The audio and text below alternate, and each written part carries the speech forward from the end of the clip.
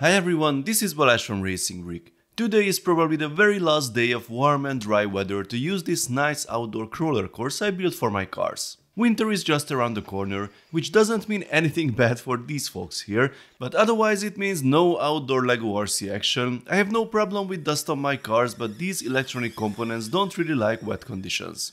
By the way, you didn't see much of the track this year as it proved to be too challenging for most LEGO cars. I guess I will have to find some more capable builds, like the good old Rocky B model of the Extreme Offroader. I had to rebuild it, I'm sure you remember the video I made about it a few years ago. Even this will need a few upgrades for this course. So, back in the studio, today we are going to laser cut again, I will show you how I did these things here. I thought I would try making obstacles for some indoor fun, and that's where this mighty machine comes in. This is the IKIER K1 Ultra, a 36 watt laser engraving and cutting machine. It also has some cool extra features, but I would rather show those on the machine itself. Before we begin, as always a quick disclaimer, this isn't a full product review video and I'm not an expert giving my opinion on the product. I'm showing you my journey with various tools and gadgets as I discover their functions and explore how they can be used in the world of the LEGO hobby.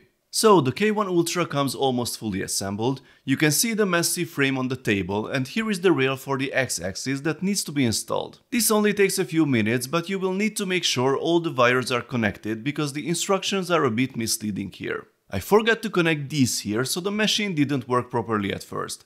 The air assist pump is included in the package which is nice, it also needs to be connected. It is an open frame laser cutter that has no enclosure by default and a quite powerful one, so you need to understand the risks of operation. Safety glasses must always be worn and it is advisable to use the additional enclosure you can buy from IKIER. It helps isolate all the particles and fumes that are generated during cutting and has a built-in smoke exhaust tube with a fan. I hooked it up to my air filter and purifier to make sure everything harmful is caught before it goes out the window. The enclosure also has lighting if needed, which can be operated in conjunction with the fan.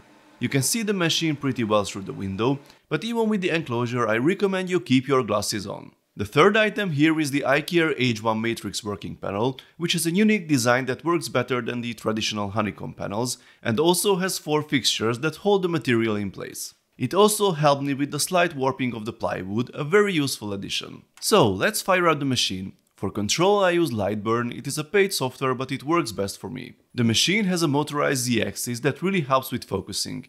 You have to set up a simple script in the app, but then the autofocus process works by itself. It also has a separate crosshair laser positioning guide, which is much more visible than the single dots on other machines and is very useful when we do the framing. Again, it takes a bit of tinkering in the app, but after that it works flawlessly. I use plywood as the material, which is easy to buy. However, you should measure it before designing because it turned out to be 3.5mm thick instead of the specified 3mm. I've cut it into pieces about 30cm long previously for another project, so I had to work with that size this time. I decided to design a few simple obstacles myself.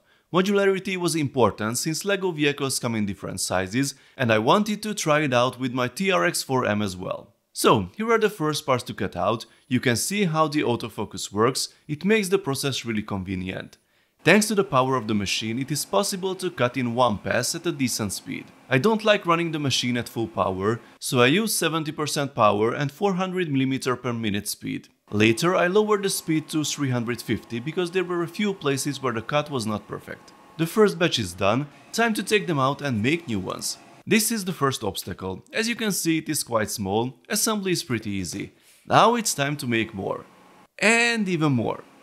I also tested the engraving because every course needs a nice logo next to it.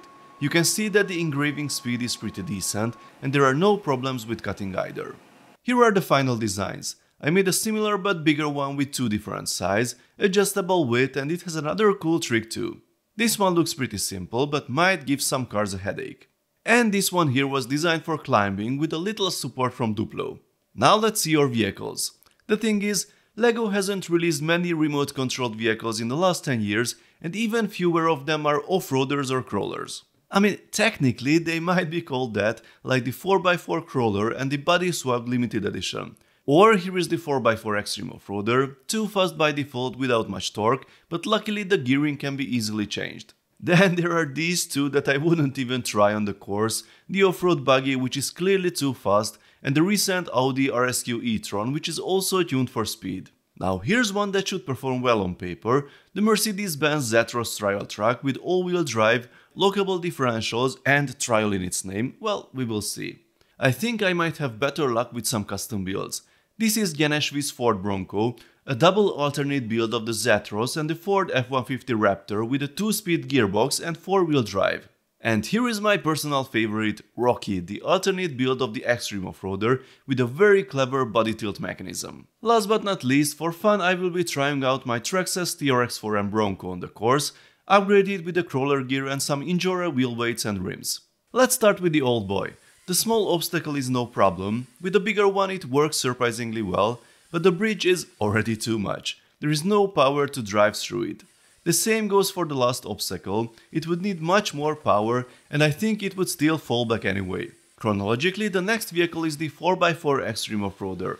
This is my stage 1 gear swap, but the differentials are open, it is balanced between speed and torque. It even passes the bigger obstacle, which is a bit surprising for me, goes over the bridge and only the ladder stops it.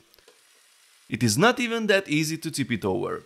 There's a reason why this set is still my favorite of the Control Plus sets.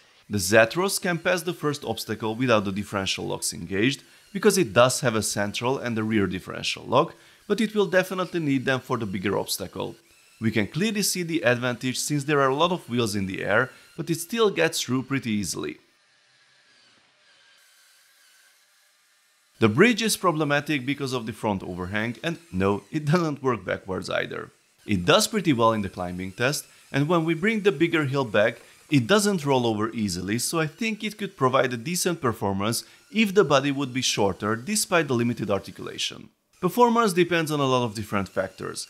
The Bronco is a capable custom 4x4 and has no problems with the smaller obstacle, it can even climb the bridge because the front and rear overhang is not that big, but on the larger obstacle it has some problems, needs a few tries to complete it. And unfortunately the center of gravity is too high, it falls back on the climbing test. It is a pretty cool build by the way with an easily detachable body worth to check. And now it's time for Rocky to shine. With two lock differentials it is quite a challenge to stop it. Maybe the ground clearance could be a bit better, but as a B model I find it more than impressive.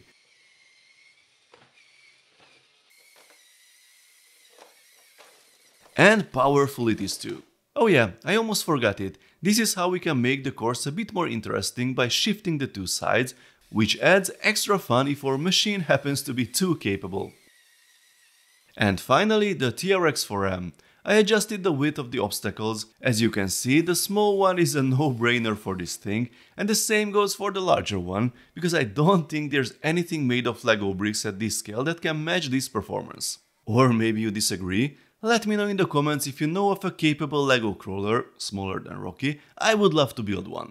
Also, let me know if you have any other ideas for indoor crawler obstacles, maybe I will try 3D printing as well, we will see. The IKIER K1 Ultra worked really well for me, but of course it can do much more, I will try some other tricks later. It is a pretty expensive machine, no doubt, so as always I don't recommend buying it just to cut plywood for LEGO obstacles, but if you are looking for a fast and powerful laser cutter and engraver, I think it's definitely worth a closer look. Please let me know your thoughts folks in the comment section, if you enjoyed this video then please give it a thumbs up, and don't forget to subscribe with notifications as more exciting LEGO videos are coming soon. See you next time, bye bye.